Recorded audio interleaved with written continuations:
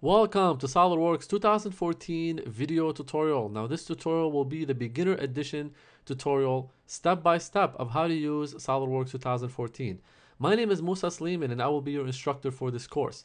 I have over 10 years of experience using SOLIDWORKS and I am currently a SOLIDWORKS solutions partner and a lot a lot of knowledge that I would love to share with you in this DVD. Now we'll begin this DVD it's going to be entirely a beginner's edition. This means if you've never opened up SOLIDWORKS in your life, I will teach you step by step all the right steps to use of how to start using SOLIDWORKS and be uh, very efficient at it right off the bat. Okay, now this DVD will be beginner's edition DVD. Also look forward for our advanced DVD, which should be coming out very close to the same date that this came out as well. I really hope you enjoy this uh, video tutorial and I look forward to seeing you in the advanced SOLIDWORKS video tutorials as well.